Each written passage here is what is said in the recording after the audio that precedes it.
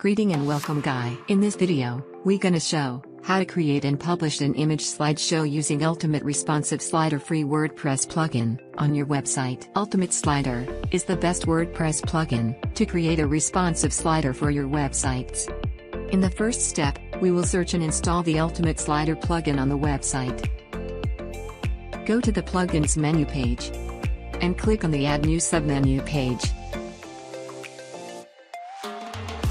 Now type the slider in the search box located on the top corner and hit the enter button to search.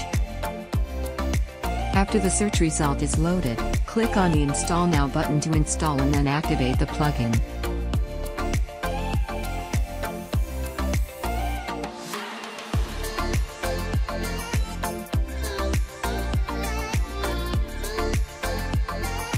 In the second step, we will create slider. Go to the Ultimate Slider menu page, and click on the Add New Slider submenu page. First give a name or title to the slider. Now, upload the image to the sliders, click on the Add New Slides button to upload the images.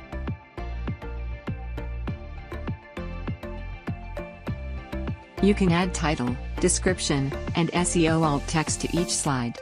You can leave it blank if you don't want to display this on a slide. Publish the slider and copy the generated shortcode.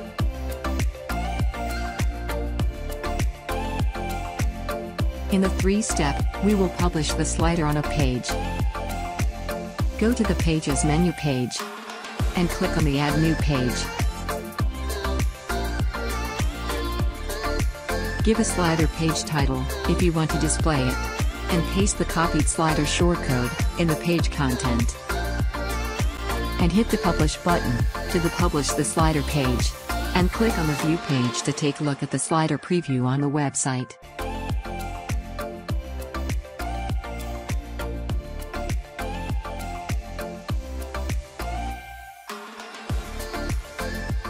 So finally, we made and publish an image slideshow, using the Ultimate Slider free WordPress plugin. Please like the video, subscribe to the channel for more videos and updates.